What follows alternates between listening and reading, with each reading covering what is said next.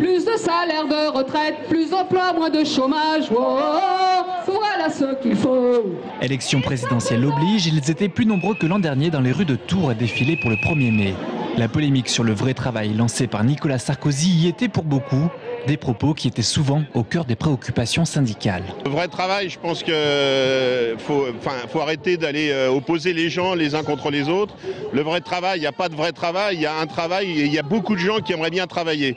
Aujourd'hui, il faut regarder aussi les gens qui ne peuvent pas euh, obtenir de travail du fait de la politique actuelle du gouvernement. En l'entendant, on avait l'impression que le vrai travail, c'était la souffrance au travail, qu'il fallait, euh, fallait souffrir pour être un vrai travailleur.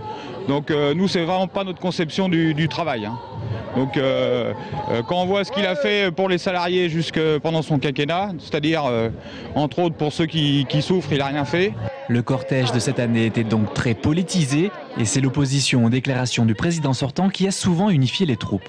Il semblerait que notre président sortant soit depuis cinq ans déconnecté complètement de la réalité du monde du travail et nous le prouve par ses déclarations.